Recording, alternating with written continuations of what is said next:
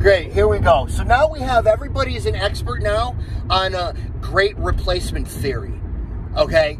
Uh, whatever, whatever that is. Nobody knew what that term was yesterday, but now everybody knows what it is, and everybody's talking about Tucker Carlson, this, that, and the other. Tucker Carlson is not racist. All right? You want to know what the problem is? The problem is the media. The media. The media on all sides. Primarily, sorry, not sorry, the left. They constantly stoke racial tensions and fire and fucking hate between people all the time. All right? A black dude drove into a fucking parade and killed six people. It was racially motivated. A black dude in Brooklyn got on a subway, started shooting people. It was racially motivated. All right? Black dude killed someone in Chicago, right? Comes out, screams, Where's my reparations?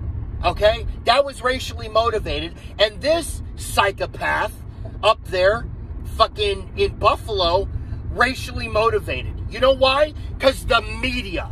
It's not Fox News. It's not some somebody saying, "No, man, you know, uh, replacement theory." Tucker Carlson is talking about, and rightfully so, replacing voters, regular voters, with voters that are here illegally because they're going to vote for social programs. That's what he talks about. He's not talking about black people replacing white people.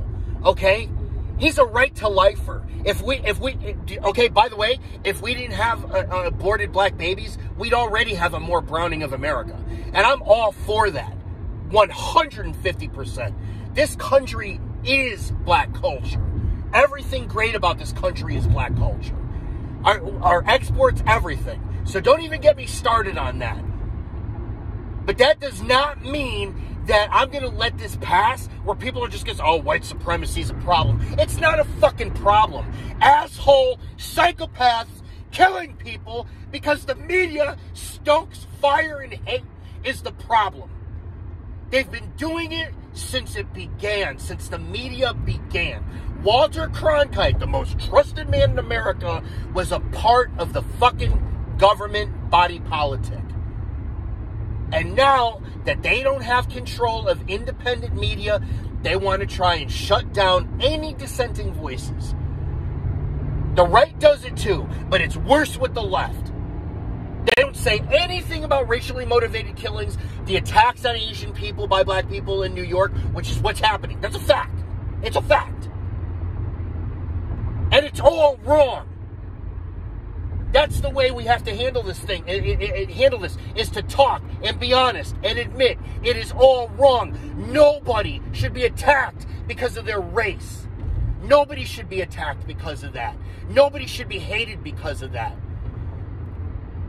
And people are letting the media influence themselves, influence them into hating another side. They come up with these with these terms, these slogans. Oh, now it's now it's the the great replacement theory. Shut up! You have no idea what that means. It, the great replacement theory. Tucker was talking about replacing voters. Ben Shapiro says that the other great replacement theory is Uh, uh, uh, that that Jews are going to replace uh, whites with black people, whatever. Replacement theory. It's fucking two words, and, and regardless of what anybody says, nobody should be shooting or attacking anybody based on fucking well, based on anything, but based on race, based on sex, gender, whatever you want to call it, straight, gay, nobody should fucking do it. Nobody should be attacking comedians. Nobody should be attacking somebody that makes fucking jokes on a fucking stage at all. And I'm fucking convinced that people that sit there and they keep pushing this, oh, white supremacy is a fucking pro-. What are you talking about? What are you talking about? White supremacy is not a fucking problem or an issue. Quit stoking that fucking bullshit. That's pushed by fucking left wing fucking lunatics that I'm convinced have no fucking black friends. Because if they did, then they would fucking have. We had conversations about this shit in the 90s. What happened to Rodney King was wrong. The LAPD was corrupt. It was wrong. Period. And you know what else was wrong? When they fucking pulled Reginald Denny, a white dude, out of a truck and beat his ass. That was fucking wrong too. See how two things can coexist? I understood the protests. I understood the riots. But to attack another side just because of fucking any type of hate or retribution is wrong. It's wrong. And the media is doing what it does, and it always has. The media is what got Biggie and Tupac killed, and all and a whole ton of other people who aren't who weren't famous either. By the way, they are masters at being divisive and creating tensions. That's what sells. That's what sells. What this guy did in Buffalo was completely fucked up. But when you have a president that doesn't acknowledge all of the other shit that's happened on the other side, just to call it out and call it wrong is absolutely you should you should be very very very very hesitant and cautious to believe what he says. Biden has stoked fucking racial tensions his entire career. And this isn't a pro Trump. By the way, I haven't fucking talked about Trump since he lost either. So enough with that shit too. You know, the memes and the this and the that. That's funny stuff, okay? But you got to get over this. Got to get over this fucking this Trump thing, and all. I mean, we've got to find a way to fucking heal. We've got to get people that are able to fucking defend themselves, and we have to fucking love each other. I love black people. This country is founded on black fucking culture. Our great exports. Our great exports, our style known around the world, the hip hop culture, in my opinion, was the most important cultural movement ever. Ever. And it was black people and Hispanic and white. But you know, we, we, we, we've got to we've got to come together with what we love about each other and they're getting people to talk about what they hate about each other. Oh man, but this happened here, you know, and this guy ran into, even I, I did it. I did it. I'm trying to balance it out to, to show what's happening here. There's racial tensions and racial violence happening on all sides. And you know what? It's all wrong. That's why uh, even when we talk about hate crimes and this and that, crime is crime. Crime is crime this this it's all hate and it's all wrong and it's got to stop and the way it's going to stop is it, it isn't more hate it's love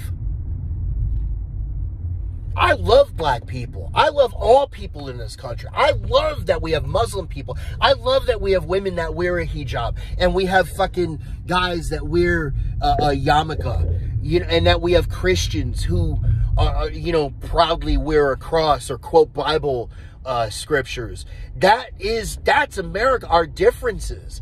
And no matter how different we are, we all have to respect each other as human beings, man. These politicians, they all want to keep dividing us. And I get it. I look, I go along with it too, man, you know, because there are things that make me mad and I don't like when you know when CNN or MSNBC keep things out of the media. Listen, they do it, in my opinion, more now. In in in the 2000s, during the that bullshit Iraq, Afghanistan war that that piece of crap W got us into. Okay, it was Fox that was that was perpetuating a, a, a lot of the uh, a, a, lot of the uh, a lot of the lies to keep the war machine going. Damn it, man! These motherfuckers love war, overseas and here, and I'm sick of it.